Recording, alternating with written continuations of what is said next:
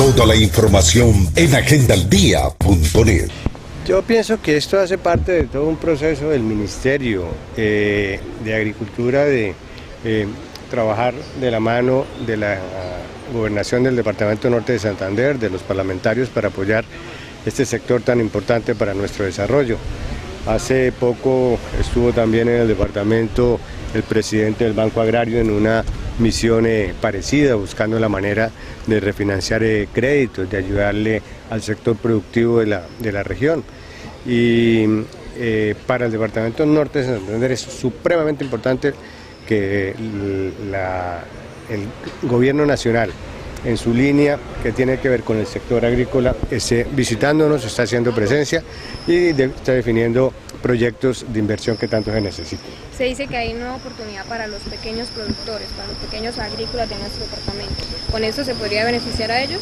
Claro, de eso se trata, pero yo no diría tanto que nueva, es, eh, es mantenerlo, es renovarlo, porque permanentemente eh, se ha estado eh, financiando proyectos, haciendo presencia. Entiendo que esta mañana arrancaban en Azozulia, porque pues precisamente eso es una de las zonas, toda la parte del Zulia, todo el valle, la parte productiva del departamento, eh, que siempre ha estado el gobierno nacional en cabeza del Ministerio de, Agricultura pendiente. ¿Salió precisamente hablando de esa situación de nuestro gobernador? Sí, yo la verdad pues le da una tristeza que, que algo hace, no sé, 14 años, eh, pues en este momento se mueva con dos alcances completamente distintos. Uno, una situación de, una, de un concejal eh, más que afecta hoy a la primera autoridad departamental. Eh, mm, esto, esta inseguridad jurídica le hace daño al país. Yo me hago una pregunta. Eh, ¿Será que algo parecido entre una situación para un gobernador de Antioquia, un gobernador del Valle, un alcalde de Bogotá, se haría? O es que allá en el orden eh, nacional, eh, Consejo de Estado, eh, sencillamente pues, allá un departamento lejos y tomemos esas decisiones que eso no pasa nada. Y la verdad pasa mucho porque afecta al departamento, afecta a la gobernabilidad, nos afecta a todos. Creemos como asamblea en el gobernador del departamento, esperamos que dentro de los mecanismos que da la ley se pueda salir adelante y que tengamos a William Villamizar durante estos cuatro años.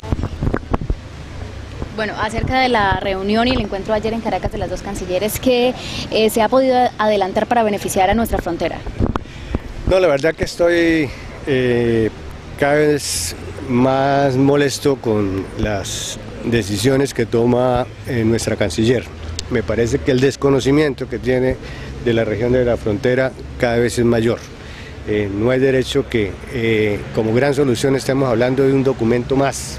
Eso no, eso, eso, eso da tristeza que una reunión de cancilleres eh, se lleve para decir que la gran solución es poner un, documento ahí para, para ponerle más trabas a la gente. Se le olvida que Cúcuta siempre ha sido una ciudad de frontera como San Antonio y Ureña lo fueron tradicionalmente. Nosotros tenemos que estar todos trabajando en función de que mantengamos la frontera, que ojalá que las decisiones se tomen aquí, no la tomen en Bogotá y en, Caracas. Y lamento profundamente que eh, esté nuestra canciller que continúe equivocándose en las decisiones de frontera. ¿Para cuándo se tenía entonces pensada la reunión entre los dos presidentes y ya tomar una decisión definitiva? No entiendo que eh, entre las cosas que conversaron fue eh, seguir ambientando, seguir ambientando ese tema. Pero con la pregunta mm, me da para hacer este comentario. Eh, realmente fue muy triste ver cómo la frontera sola en su dinámica permitió la entrada de venezolanos. Nos visitaron durante dos, tres fines de semana.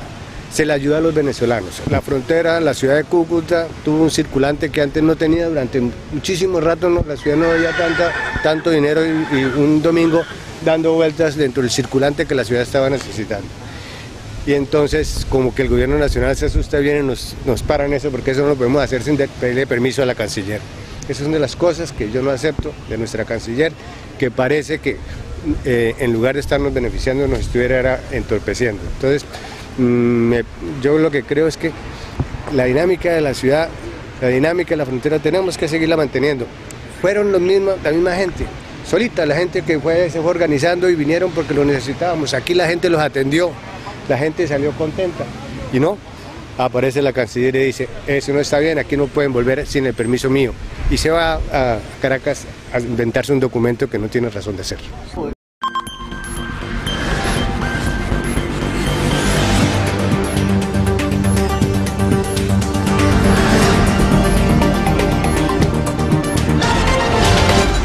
Toda la información en agendaldía.net.